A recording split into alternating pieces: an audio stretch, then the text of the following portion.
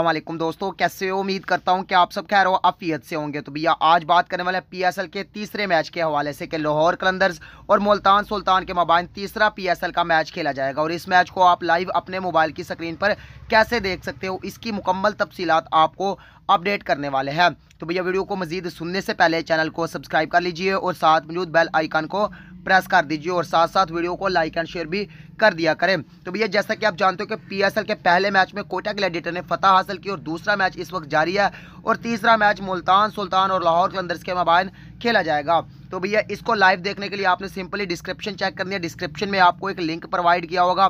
आपने उस लिंक पर क्लिक कर लेना है और क्लिक करने के बाद आपने एक एप्लीकेशन इंस्टॉल कर लें जिसका नाम है लाइव नेट टीवी आप अपने मोबाइल पर इंस्टॉल करने के बाद उसको ओपन करोगे तो वहाँ पर आपको दुनिया भर के स्पोर्ट्स के एंटरटेनमेंट के, तमाम चीज़ों के चैनल्स मिल जाएँगे। आपने सिंपली स्पोर्ट्स वाली कैटेगरी में चले जाना है और कैटेगरी में जाकर वहाँ पर पीटीवी स्पोर्ट या टेन स्पोर्ट चला लेना है। वहाँ पर क्लिक करोगे तो पी स्पोर्ट और टेन स्पोर्ट आपका चल जाएगा, जिसके बाद आप पीएसएल के तमाम मैचेस उस पर लाइव देख सकते हो। तो भैया, इस मैच में सबसे ज़्यादा रन कौन सा खिलाड़ी करेगा? लाहौर कलंदर्स क्या जीत पाएगी? लाहौर कलंदर्स की क्या किस्मत बदल पाएगी या नहीं? क्या क्रिस लेन अच्छी बैटिंग कर पाएगा? क्या शाहिद खान अफरीदी रन करेंगे या नहीं? इसके बारे में अपनी राय का इजहार आप नीचे कमेंट बॉक्स में कर सकते हैं। मिलते हैं आपको नए आने वाली वीडियो में। तब तक के लिए मुझे इजाज़त दीजिए। अपनी दुआओं में ज़रूर याद रखना। अल्लाह हाफिज़।